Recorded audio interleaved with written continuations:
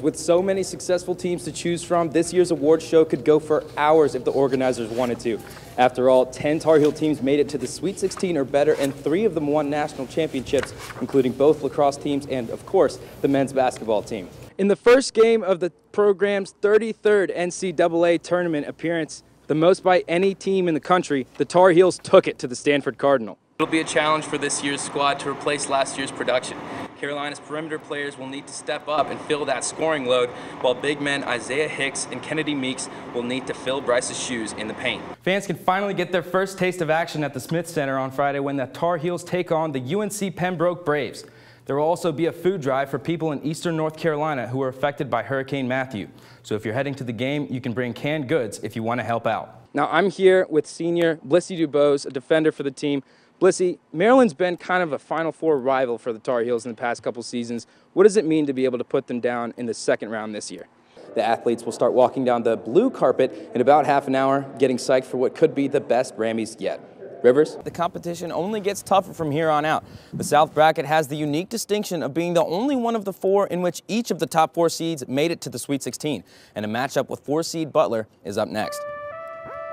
Butler has a pretty scary stat in its favor, and that is that the Bulldogs are 4-0 this season against RPI top 25 opponents after beating Cincinnati, Arizona, and Villanova twice. Butler loves to control the tempo and play at its own pace, which is terrifying when you realize the Bulldogs shot 53% from three as a team against Middle Tennessee in the round of 32. Another scary stat is that as much as UNC loves to rebound offensively, Butler loves to rebound defensively, which means the Bulldogs will try to limit the Tar Heels back to the basket points.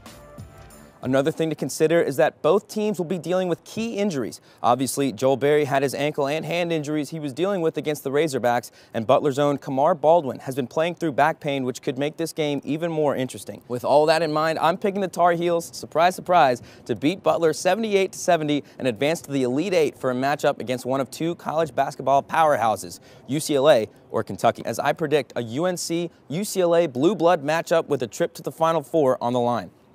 It's safe to say the Tar Heels will have a tough road back to the Final Four with plenty of capable teams standing in their way, but I still believe Roy and his boys want to avenge last year's heartbreak, so I'm going Heels all the way. But, of course, knock on wood. Thanks, Rivers. Now, it was a big weekend for field hockey, and not just because of the win, but also because they held a reunion for former Tar Heels who won three national championships between 1995 and 1997. Now, head coach Karen Shelton has been key for the team's sustained success. Six national championships, 22 ACC championships, 619 wins and counting. Karen Shelton is, in a word, legendary. She has built a field hockey powerhouse right here in Chapel Hill. Despite her small stature and easy smile, Shelton's players will tell you that she's all business. She's definitely intimidating. She's a very small woman. She's awesome. she's small, but um, you know she she's Karen Shelton. So you know initially intimidated, um, grown to love her. It's all about hard work. Nothing comes easy. So being disciplined, being focused. Attitude is everything. Uh, first and foremost, I tell people all the time that ask me, do you have favorite players? And I say, yes, I have favorite players. They work the hardest and they have the best attitude. Uh, I'm a fundamental coach, so I'm not the one that does all the fun things. Uh, I think winning is fun. I think playing great is fun. Uh, so I'm not the fun coach. You know, they can do fun stuff on their own time. Having coached six teams to national titles, Shelton knows a thing or two about building a strong locker room. She finds the right types of women to be together on a team. She finds the right chemistry it's just as important as having the right talent. I love working with the kids, you know, um, I think they keep me young. I love the challenge that it's a new team every year. So no, no two teams are ever the same, and it's, uh, it, you know, it's just a labor of love. And that labor of love continues to pay big dividends. With a 6 and 2 record and a number 3 ranking, the UNC field hockey team has plenty to be excited about, and the team is getting a boost from the newly created field hockey band. A pilot project for marching band this season, the Field Hockey Band, Hockey Band for short, is trying to bring some extra energy to Francis Henry Stadium. One of the things that Coach Shelton said is that she wants to make the teams that come to our school not want to come to our school because of the band. Head coach Karen Shelton is excited about the new partnership between the team and the band. We play better when the band is here. It helps us, there is no question. And I think they were amazing today. Really great, great energy. And it's a great feeling for our team, I know that. Junior forward Gab Major, the Tar Heels' leading scorer, and senior back and captain Julia Young are big fans of the Focky Band. There's been so much more energy, and we can always hear them in the stands. And they're so supportive. Everyone really likes them. Just having them at home and being able to have them for every game from now on is going to be a really good advantage because it kind of throws the other team off and it gets us really hyped to play. So it's really nice having them. With glowing testimonies from players and coaches alike and two wins in as many home games, the Focky Band seems to be making a real impact. Yeah, well, first of all, they're a really good team and a Focky band or not, uh, they're going to win a lot of games. We're always trying to find the best way to service and support all the teams. So that's my goal is to help create ways that collectively we can make really special atmospheres for all of our teams. In Chapel Hill, I'm John Aceti reporting.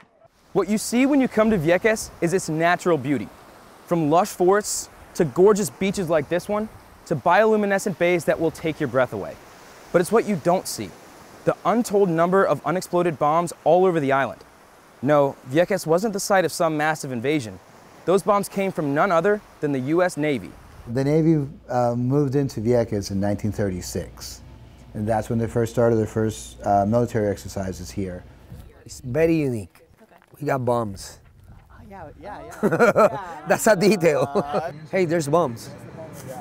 So you better walk on the trail. When the naval base closed in 2003, it left behind nearly 70 years worth of unexploded munitions from weapons testing. It also left tension between the Viequenses, who resented the Navy, and the new federal landowners, the U.S. Fish and Wildlife Service. All of a sudden, everybody who was fighting against the United States Navy were like, what? We're not getting the land? Who's the land going to? Mm. They're our new enemy. Same evil empire same purpose, same snake in the grass, different hat. Despite that lingering resistance and frustration, others recognize the benefits. Since the opening of the Vieques National Wildlife Refuge, the island's tourist numbers have increased by nearly 1,200%. The hope is that the visitors, if not the bombs, are here to stay. In Vieques, Puerto Rico, I'm John Aceti, reporting.